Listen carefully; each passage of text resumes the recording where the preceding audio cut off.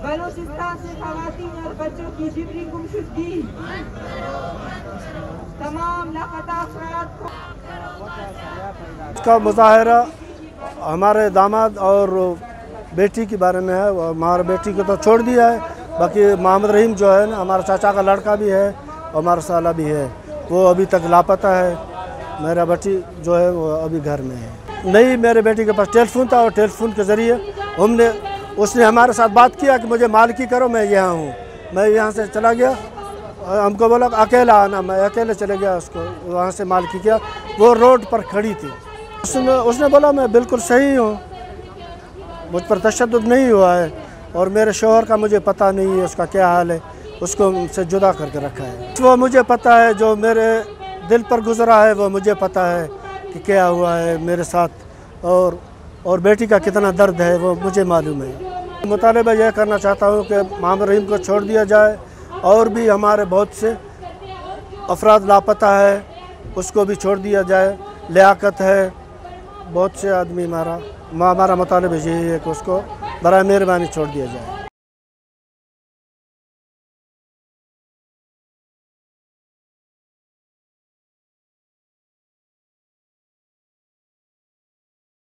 Nasrullah Baloch chairman voice for Baloch Muslim person आज का एहतजाजी मुजाहरा बलोच खातून रशीदा बीबी और उसके शौहर मोहम्मद रहीम के हवाले से यहाँ पे voice for Baloch Muslim person के जेर तमाम हो रहा है तकरीबन एहतजाज शुरू होने से 20 मिनट पहले बीबी रशीदा को एयरपोर्ट रोड पर उसके हवाले हवाले के उसके ख़ानदान के हवाले किया गया और मोहम्मद रहीम ताहाल लापता है।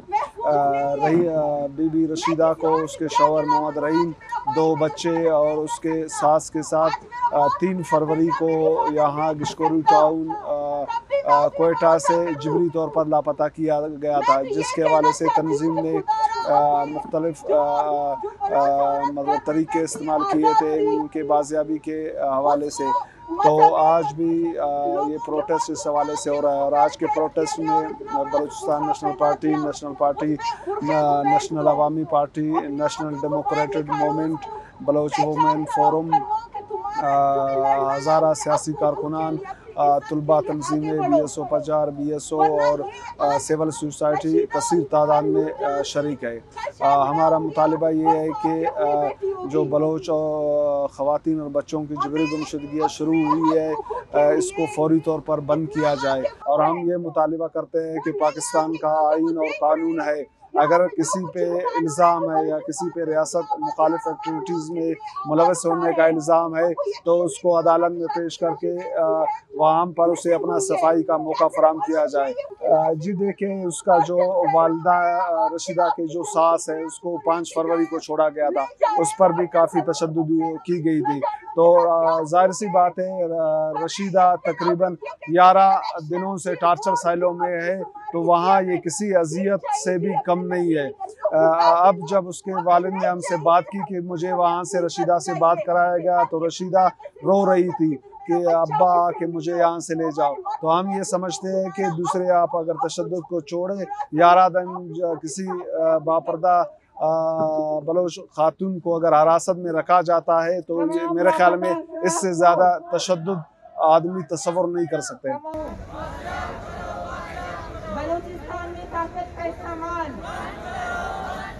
ये सारी तस्वीर है सब पे हमें आवाज़ उठानी चाहिए। आज रहीम अगर बाजियाब होकर इंशाल्लाह अपने घर आएगा लेकिन वो मजदूर वो एक, एक रोटी के लिए एक रेडी लगा के जो है ना अपनी ख्वारी की ज़िंदगी गुजार रहा था। वो किस तरह दोबारा अपने उस जहनी जो अजियत उसको मिली है, वो दोबारा किस तरह स्ट्रीम लाएगा और अपनी ज़िंदगी गुजारेगा? उसका जाला कौन करेगा? रशीदा पे जो एक नाम पड़ गया, एक इस मुआशरे में उसको मकाम कौन देगा? उस डेढ़ साल की बच्ची को या उसके चार साल बच्चे को कौन उसकी जहनी, वो जो उसकी जहन में एक चीज़ बैठ गई है, उस नफरत को कौन खत्म करेगा? ये आइन ये कानून। हम ये गलती करते हैं कि हम रियासत को माँ कहते हैं। ये सरजमीन और रियासत बाकी जगहों पे एक माँ का किरदार अदा करती है। लेकिन हमारी सरजमीन पे ऐसा नहीं कर रही। हम बार बार तंबी कर चुके हैं। हम बोल चुके हैं कि खुदारा, इन चीज़ों को बंद किया जाए। ये चीज़ें आपकी नफरत का बायस बनती है। इससे मोहब्बतें नहीं पैदा होती। आजकल सोशल मीडिया का अगर दौर है तो मैं अपने ट्विटर और फेसबुक के जो मेरे भाई हैं, उनसे कहती हूँ, उन ट्विटर से निकलकर आज आपको यहाँ बैठना चाहिए था, यहाँ आना चाहिए था। आज आपको साबित कदमी यहाँ दिखानी चाहिए थी।